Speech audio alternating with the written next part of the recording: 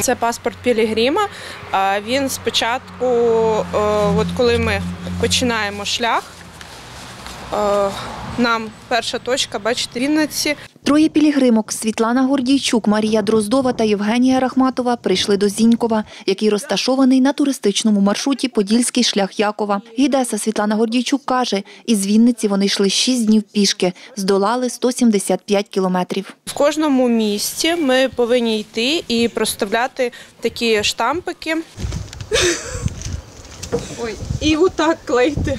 Похід, за словами Світлани Гордійчук, має дві мети. Жінки популяризують туристичний маршрут Каміно-Подоліку та збирають кошти на інклюзивний автомобіль для військових з ампутаціями. Бачила своїми очима, як хлопці чекають черги. Це процес дуже довгий, дуже тривалий, поки їм налаштують е, протези. Дуже класно було б, якщо б вони теж побачили ті міста, які на шляху Кам'яно-Подоліку, е, щоб вони могли сісти в це авто, яке спеціальне. Світлана каже, хочуть зібрати 300 тисяч гривень. На час перебування пілігримок у Зінькові мають трохи більше 50 тисяч. Навіть за кордону доєднуються, тому що в нас є PayPal. Всі наші друзі, всі, хто нас знає, Тут у Зінькові екскурсію для пілігримок проводить місцева координаторка шляху Каміно-Подоліку Галина Бернацька. Екскурсію розпочали від руїн замку 15 століття. Відвідали підземелля.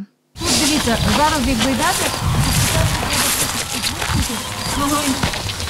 е, ставати на камінчики. Далі історія костелу Святої Трійці та замку, побудованого поруч. Його тоді розібрали, зіславшись на те, що він заважає костьолу. Це ж треба стільки століть простояти. Завершують екскурсію у маєтку Віртемберських, де зараз музей. Він йде в нас садибний будинок першої половини 19 століття, але він збудований Адамом Вюртемберським. Пілігримка Євгенія Рахматова розповідає, що найбільше вразило у Зінькові. Те, що це достатньо старе село е, початку 15 століття, перші згадки, і що тут було магдебурзьке право. Ночують жінки, кажуть, переважно в зелених садибах. У Зінькові зупинилися у пані Валентини Василенко. Тут куштують свіжоспечений хліб та зіньківську чорну ковбасу.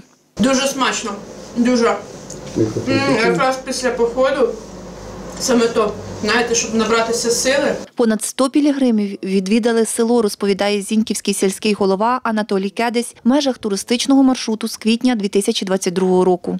Тут користь і не тільки для громади, тут є користь і для місцевого бізнесу, для е, місцевих жителів, адже сьогодні люди, пройшовши шляхом, залишаються тут і е, на ночівлю, тут є і наші крафтові продукти. Світлана Гордійчук каже, завершить піший маршрут вже сама у Жванці. Там подолає позначку 300 кілометрів. Марія та Євгенія зупиняться в Кам'янці-Подільському. Вікторія Мельник, Віктор Кривий, Суспільне новини, Хмельниччина.